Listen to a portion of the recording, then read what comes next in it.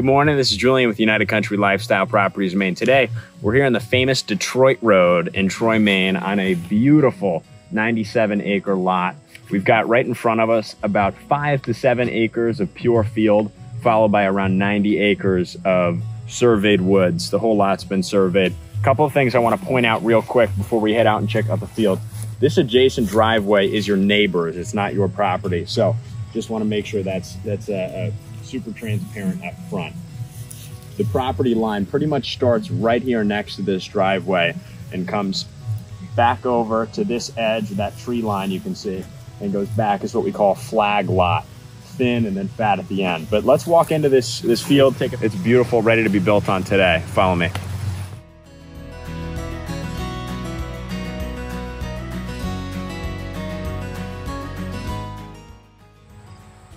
Knox and I are roaming out to the rear of the property, and our sellers live out of town, but uh, their neighbor's been nice enough to mow this little ring around the outside. And so this is the big old field. It's about five to seven acres. Again, that house is not part of the property. That's your, your neighbor's spot. But you can see this great portion of buildable field ready to rock and roll. Um, and as we head back, we can start to see that it slopes and so right about the property line where the neighbor's house is built would be the suggested location to build a property. You wouldn't really want to build too much farther down this slope just because of potential wetlands, potential floods. This year, Maine has seen a ton of rain. Uh, and so it's not something that you'd want to risk when building building your perfect home here on this beautiful field. But let's keep on walking down. We've got tons of woods, about 90 acres of woods. We'll walk through some of it today. And I don't know if you can see, but right here is an apple tree. So I'm about to go pick one and uh, we'll see about how ripe it is. Here we are at the base of one of your two apple trees. The other apple tree is towards the front of the property. And I just wanted to show you the condition of these guys is actually pretty good for an apple tree that hasn't been maintained for quite some time. Uh, these are look these look pretty good. This is one of Knox's favorite foods. So he and I are about to have a quick snack. Knox and I are now uh, at, the, at the bottom of the field, about seven acres or so. And you can see that it does slope down. So in terms of what is and what is not buildable, again, about that location of where your neighbor's property is, is a perfect spot to build. It's gonna give you enough elevation to not be worried about floods or anything. Here we've got an old rock wall that's just separating the field from the thickness of that woods. And then right here in front of me is a right of way path that both you and your neighbor share to access the rear of the property, the beautiful woods.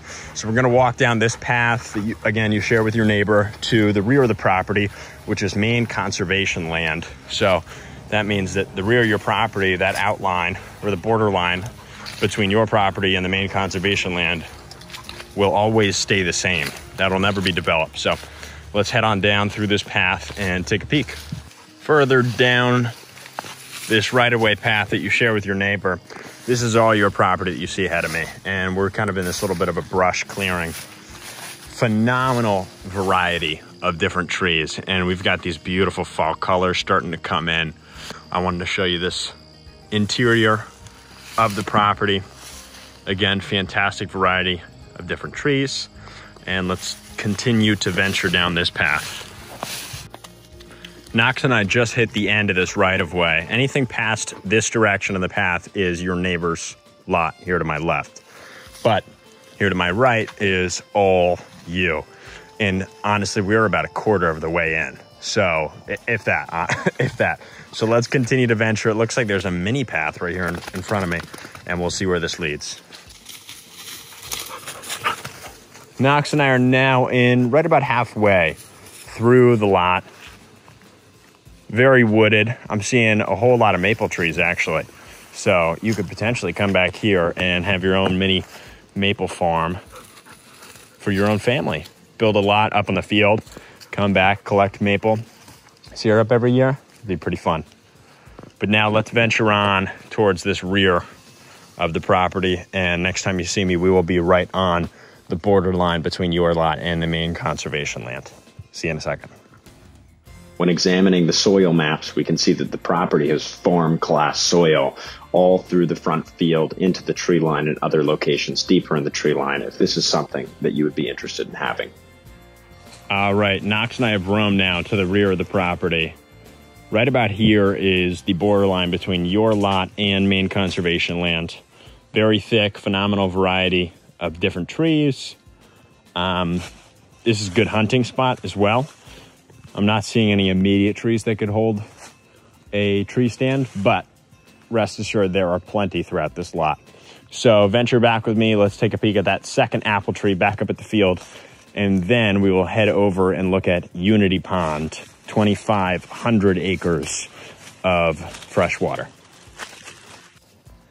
Now, this is your neighbor's tree stand, but I did want to point it out on our way back up towards the field. It's just off of this right of way path that you guys share. So, obviously, the hunting is pretty ripe here. The other thing I wanted to point out is that even though there is abundance of deer on these 97 acres, I have yet to find a single deer tick. Now, I've got plenty of mud splatters all around, but not a single tick. And I looked on Knox as well, and I haven't seen one on him either. So that's just an extra bonus peace of mind. And uh, ticks are just kind of annoying. So let's head on up to the field, take a peek at that final apple tree, and then swing on over to Unity Pond. We're here at your second apple tree. And this one is not as ripe as the other uh, the other tree rather, but with a little bit of maintenance, I think you could make something out of this. Let's head over to the vehicles, hop in, and swing on over to Unity Pond. See you there in a second.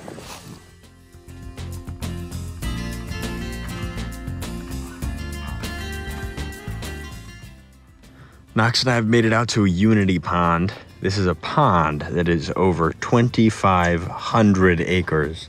It is giant, and we've got these beautiful fall colors coming in.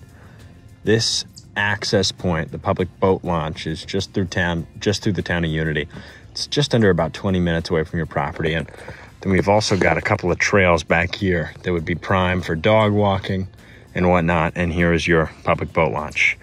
Also, the fishing in this pond is spectacular. The bass fishing here is absolutely ridiculous. I highly recommend that you swing on through and test it out for yourself. This has been Julian with United Country Lifestyle Properties in Maine. A couple of things that I really enjoy about Troy, Maine is you have all the ruralness of being in a small town with only a thousand people, but then simultaneously you're 40 minutes from Belfast, where you've got access to the water, Penobscot Bay, 40 minutes from Bangor, you have an international airport, 50 minutes from Maine's capital in Augusta. It's a fantastic location to couple both of the rural and the near to shopping city, anything you may need. The price on this lot is $100,000. The yearly taxes are just under $1,000 every year. So make sure to subscribe, turn the post notifications on. This has been Julian with United Country Lifestyle Properties in Maine. Thank you.